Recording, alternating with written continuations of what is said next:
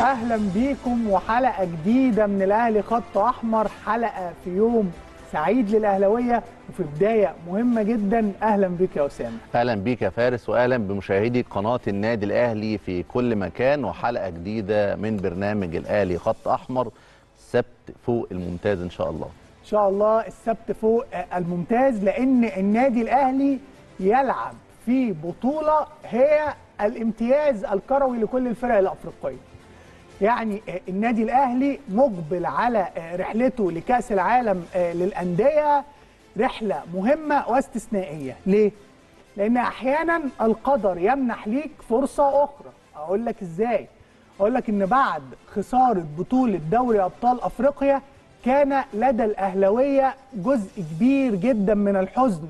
مش بس عشان خسارة بطولة إفريقيا كمان عشان حرمانهم من المشاركة في كأس العالم للأندية ووقتها كان الأهلاوية شايفين ان بطولة العالم للأندية وتحقيق إنجاز جديد شيء مهم وان بطولة أفريقيا الثالثه على التوالي كان شيء مهم. ربما لا يستطيع القدر إن هو يعوضك بالكامل ولكن يمنحك جزء جديد وفرصة جديدة وشعور جديد بالتعويض ولو المعنوي عن خسارة دوري أبطال أفريقيا وعن فكرة عدم مشاركتك لكأس العالم للأندية.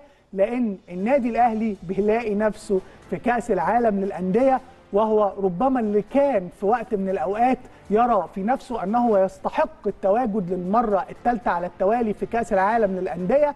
إنجاز مهم جدا شيء مهم جدا. وفكرة مشاركتك الثامنه في كأس العالم للأندية هو رقم يعرف ناس كتير قوي قيمة النادي الأهلي المصري. يخلي ناس كتير قوي تعرف أن النادي الأهلي هو جزء من القوة الناعمة الرياضية بل الجزء الأكبر من القوة الناعمة رياضيا لأنه هو اللي بيرفع اسم مصر في المحافل الدولية اللي على المستوى ده. يمكن البعض يتباهى حتى بمشاركة في بطولة مجرد بقلم رصاص ويقول أنا رحت كأس العالم للأندية في بطولة ما اتلعبتش. ما بالك أنت بتشارك للمرة الثامنة في كأس العالم للأندية. إنجاز مهم وشيء مهم وأمور أخرى مهمة يمكن كان الأهلاوية بيشوفوها. أعتقد يمكن أنا بكلمكم بشكل صريح رحنا في أمور كتير كان في وجهات نظر الصفقات الانتقالات كان كل ده عندنا وجهات نظر فيه وهي مشروعة وأنا لا أحب دائما الإقصاء بالعكس في وقت لوجهات النظر وفي وقت خلاص. النادي الأهلي مقبل على بطولة وجهات النظر في النهاية كلها كلها هدفها في النهاية مصلحة النادي الأهلي.